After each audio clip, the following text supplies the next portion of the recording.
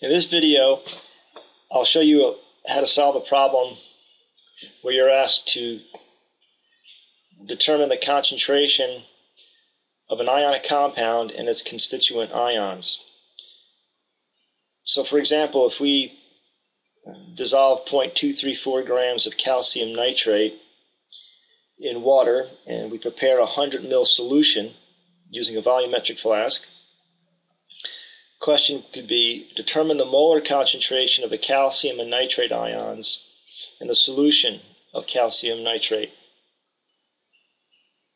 A legitimate first step would be to determine the total moles of calcium nitrate. And using the molar mass of calcium nitrate, which is 164 grams, we could do that. So divide 0.234 grams of calcium nitrate by the molar mass, 164 grams, to get 0.00142 moles of the compound. After determining the moles of compound, the next step would be to determine the molarity of the compound in the solution and simply divide the number of moles of the compound by the volume of the solution. In this case, uh, it's 0.100 liters. So the molarity of the calcium nitrate is 0.0142 moles per liter.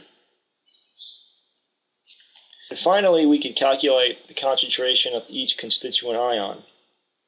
To do this, look at the formula and find out how many of each ion are in the formula. There's one calcium in the formula and there are two nitrates. So for every one unit of calcium nitrate, there's one calcium. So that means the concentration of the calcium ion is the same as the molarity of the calcium nitrate compound. On the other hand, because there are two nitrates in the formula, the concentration of nitrate is twice the concentration of calcium nitrate.